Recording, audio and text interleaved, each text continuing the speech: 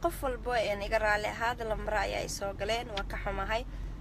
Qof walbo wuxuu leeyahay riyo qof walba riyadiisana waxay ugu suurtagelaysaa marka uu qof walaalkiisa ama walaashiisa uu dhiirigeliyo ama uu taageero. Marka waxaan leeyahay annagaa is annagaa is si qof walba hadafka uu adduunka uu ka leeyahay uu helo. Haddaa maanta qof walaalka wax yar one minute haddaa wax wanaagsan oo qurux badan oo qiimo leh u qortid ama maxay ugu hambaliysid for example qof ayaa doonaya inuu heer gaaro ama wax uu bilaabo. Weligaa ha isku dayin inaad dhahdid waxaan waxba kama keenaysid. Waxaan waxba kuma tarayaan.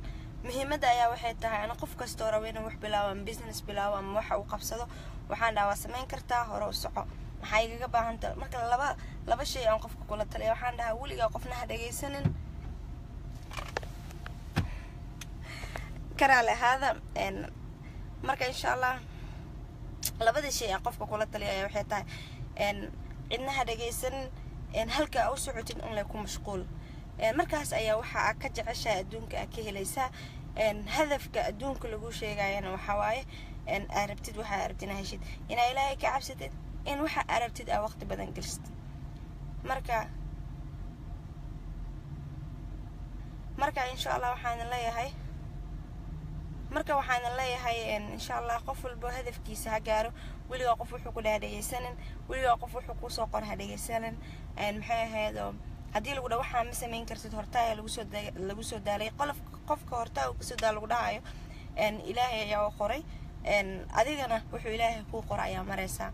Cidna wax kaama qaadayso adiga unba waxaa lagaa rabaa inaad dhahdid who cares? Cidna dhegtaada xiro laakiin hadafka aa leedahay ama waqti geli schedule ku soco waxa amaanta rabtid inaa qabatid daraj waxa aa qabsanaysid dhiirigelintana markasta waxay ka imaataa dhinacaaga. Hadaad is dhiirigelisid haddaad is dhiirigelisid wax kastoo adduunkaa ka marku helaysaa insha allah berito atlana waa imaanayna hadduu ilaahay waxaan idin leeyahay. Shiibanka kaa masar soomaaliya ku imaatay. Insha allah halkaas ayaan isku arki doonaa maanta nashville waa ka tagay. Waxaa ku socdaa waqti. Waxaan kaga tagaa qof walba waqtigiisa ha u wacnaado berito ayaan snapchatka iyo facebooka soo gelin doonaa meelaha aan tegi doono.